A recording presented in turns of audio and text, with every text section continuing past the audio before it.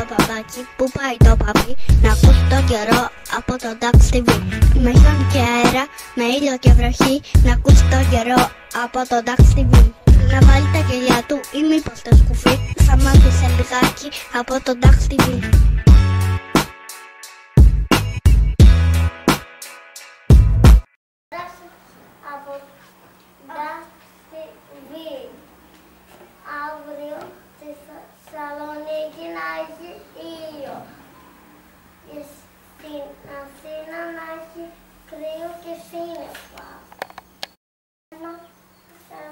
Καλησπέρα σας από το Dax TV.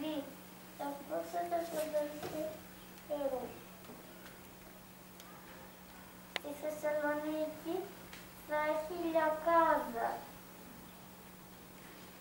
Και στην Αθήνα θα έχει βροχή. Γεια σας από το Dax TV. Και σήμερα στη, στην Ελλάδα θα έχει καταιγίδα και στην, και στην Αθήνα θα έχει βροχή. Αύριο; Και αύριο θα έχει λιακάδα. Γεια σας, σήμερα από το Tax TV. Σήμερα δεν θα σας πω αύριο τον καιρό. Στη Θεσσαλονίκη θα έχει ήλιο και στην εμ, Αθήνα. Αθήνα θα έχει βροντές και στραπές. Καλημέρα από το Tax TV. Ε, στη Θεσσαλονίκη θα έχει ηλιακα- ηλιακάδα. Ε, στη Θεσσαλονίκη θα... Και στην Αθήνα. Ε, στην Αθήνα θα έχει αστραπές και βροχή. Γεια σας.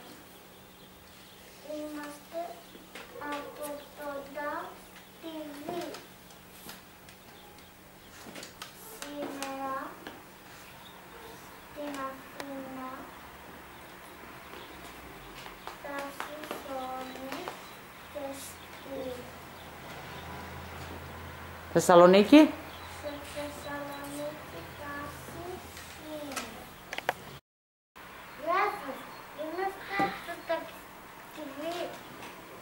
Σήμερα θα δείξω το δελτίο καιρού στη Θεσσαλονίκη θα στην Αθήνα θα έχει ε, ε, στη Θεσσαλονίκη θα έχει ε, χώρο. Ήλιο και τι στην Αθήνα.